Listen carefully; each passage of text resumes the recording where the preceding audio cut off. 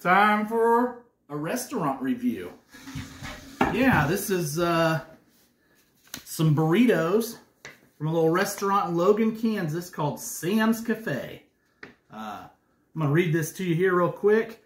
Meals at Sam's Cafe are inspired by the food journey that Chef Matt Fuller, Matthew Fuller, has been on. Begins with culinary arts school in Denver, Colorado. Matt found out quickly that the skills taught formally could also be learnt by doing it. Um, it's going to go on and say some stuff about his hometown and stuff like that that I don't necessarily want to put on here, but um, there it is. In Logan, Kansas, I'm going to try out these burritos. See what we got going on here? A lot of sauce going on. Get a little cut in here. See if we get a little I'm to lift this up a little bit here, cameraman. See if we can see what the inside of that looks like a little bit. Mmm. Gooiness. I'm to have to rate this from rad to okay to sad. We're to find out real quick. Kind of hot. Look at that gooiness. Oh my.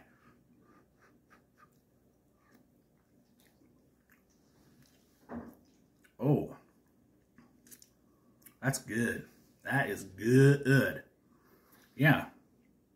Cheesy. A little bit beany. Meaty. He's not skimping you out on anything. That's for certain. That could feed two people. Good stuff. Mm -hmm. Anyway. Looks like... Uh, I don't know if this... Yeah, this was Tuesday's special. Smothered burrito. Yeah get a close-up on that.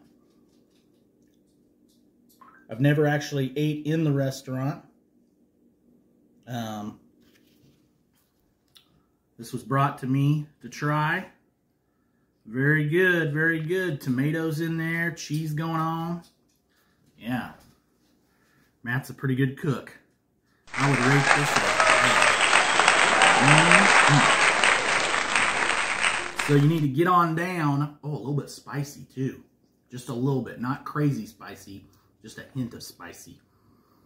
Get on down to Sam's Cafe in Logan, Kansas. Daily specials made from scratch.